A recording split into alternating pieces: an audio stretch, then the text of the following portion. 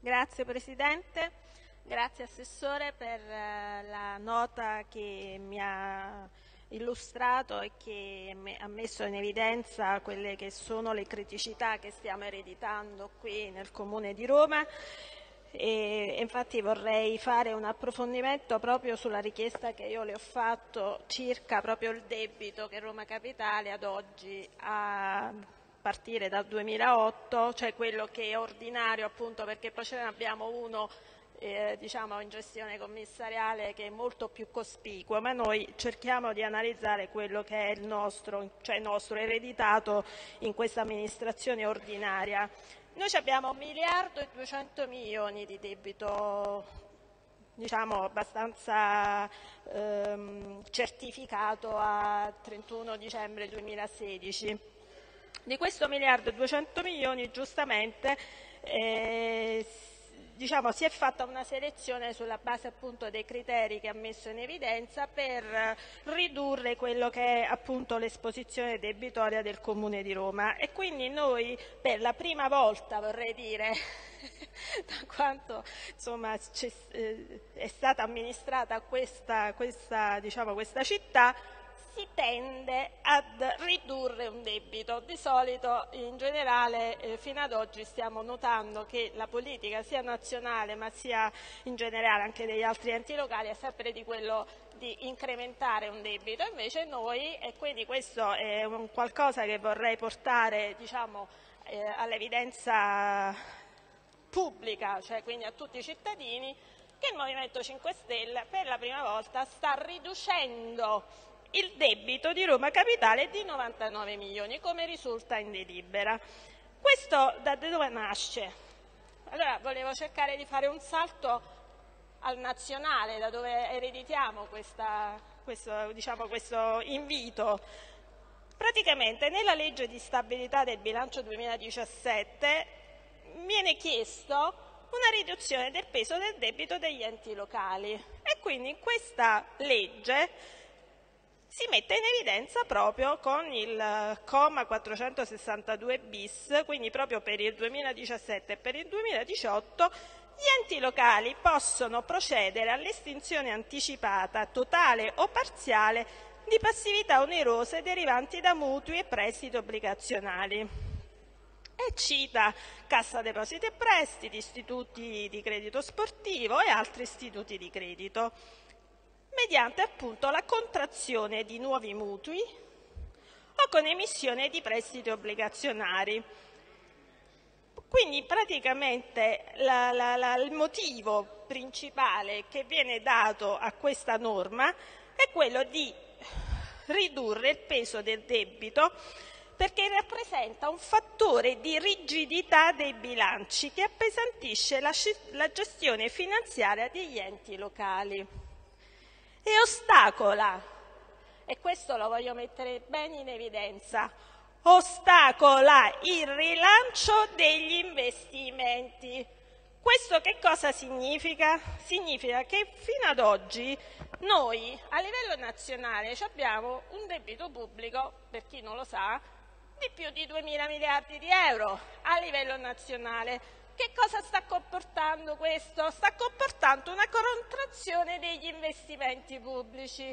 Quindi significa che il nostro Paese non cresce perché? Perché noi stiamo semplicemente tagliando per favorire il pagamento di interessi sul debito pubblico che ci portiamo da anni e che intorno a 60-70 milioni l'anno di interessi sul debito pubblico che se non avessimo questo macigno potremo investire.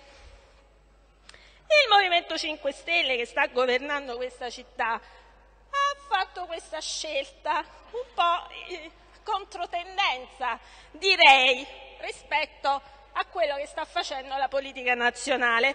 Noi stiamo cercando di ridurre il debito affinché questa riduzione del debito ci porta in maniera strutturale, e lo voglio sottolineare, una riduzione degli interessi da qui al futuro che poi verrà, perché se facciamo un'analisi di quanto sono i debiti che noi ereditiamo, sempre di questo famoso miliardo e 200 milioni, possiamo dire che abbiamo una bella fetta di interessi passivi che dovremo pagare da qui al futuro con le varie scadenze che abbiamo. Questo quindi che cosa significa? Significa che noi stiamo, come diceva l'assessore prima, recuperando risorse per avere spazi finanziari per fare investimenti. Non è una cosa da poco, cioè voglio dire, forse non lo so se qualcuno mi sta seguendo, ma qui significa che noi dall'anno prossimo in poi potremo avere qualche spicciolo in più per fare investimenti e far crescere questa città. Ora faccio un piccolo excursus su questo fatto del debito di 1 miliardo e 200 milioni. Allora, ne abbiamo fatti 7 nel 2009, 25 nel 2010, 27 nel 2011, 16 nel 2012, 17 nel 2013, 29 nel 2015, 8 nel 2016 e 15 nel 2017 per finanziare le scuole. Questo che cosa significa? Significa che noi stiamo ereditando una situazione di cui stiamo cercando di invertire la tendenza, ma che comunque ci comporta cioè un, un ostacolo non da poco perché è vero che stiamo levando 100 milioni, ma ce ne sarebbero di più di risorse, cioè ce ne servirebbero un po' di più per eliminare un qualcosina di più e per liberare risorse che ci servirebbero per amministrare meglio questa città.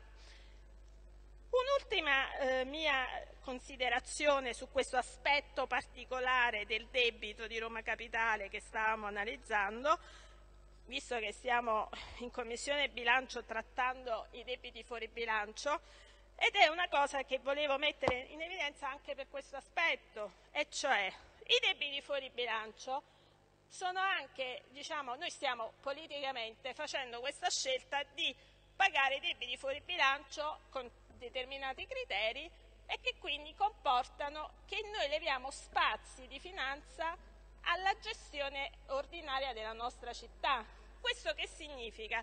Significa che noi per cercare di risolvere problemi ereditati dal passato perché qualcuno ha fatto delle spese che non doveva fare in passato, perché non tutti sono dei debiti fuori bilancio giusti come prevede il TUEL, a volte diciamo, sono stati un po' delle allegre spese dove lo stesso Oref ha messo in evidenza nelle varie delibere che parte di quei debiti fuori bilancio sono giustificabili per eh, eccezionalità, ma altre potevano essere evitate. Quindi questo per dire che se noi riusciamo ad invertire questa tendenza, quello che stiamo facendo, e quindi riusciamo a gestire al meglio l'amministrazione capitolina con programmazione e pianificazione, potremo evitare tutte queste inefficienze che ci portiamo dal passato e far rinascere, come dice spesso la nostra sindaca, far rinascere questa città realmente. È logico che per poter far rinascere una città ci vogliono risorse finanziarie per fare investimenti, perché poi dagli investimenti servono per, per ristrutturare un pezzo di città che possono a sua volta creare delle eh, diciamo, economie positive. Quindi che dire da questa variazione di bilancio? Stiamo facendo un lavoro certosino. In Commissione bilancio abbiamo affrontato anche il discorso del consolidato, cioè che noi dovremo a inizio dicembre appunto diciamo, modificare il consolidato proprio in vista di questa eh, riconciliazione debiti-crediti che è anche, anche un qualcosa che ereditiamo dal passato, che però abbiamo messo mano e che fortunatamente per fine anno riusciremo a chiudere quest'altro quest'altro problema di debiti crediti con AME e con ATAC. Quindi tutto questo lavoro di riconciliazione, di debiti fuori bilancio, di debito di Roma Capitale sono tutte situazioni che man mano ci stanno portando a migliorare la gestione finanziaria di questa città. Come ultimo direi che abbiamo fatto anche eh, una manovra che eh, migliora, cioè eh, insomma ridistribuisce un po' la spesa perché vengono eh, chiuse alcune spese, vengono riaperte altre, cioè nel senso che eh, lì dove non si poteva probabilmente spendere per fine anno si è chiusa giustamente un, perché altrimenti eh, non si potevano poi utilizzare quelle risorse e quindi si, si vede ci sono state delle maggiori spese da affrontare entro l'anno. E invece poi un altro aspetto importante che volevo mettere in evidenza, sempre di questa variazione, era l'aspetto tributario, e cioè che noi praticamente siamo riusciti ad accertare 74 milioni di euro, ma la cosa importante, almeno a mio avviso, quando ho visto la relazione, anzi la delibera, ho visto che 64 sono per cassa, che non è una cosa da poco. Quindi per dire, cioè non è che ce le stiamo inventando, ma questi soldi già sono quasi entrati, voglio dire. Quindi abbiamo solo questo gap di 10 milioni che entro l'anno bisogna accertare e riscuotere. Questo per dire, io almeno come, come parte diciamo, politica di maggioranza sono soddisfatta di questa, di questa manovra. Grazie.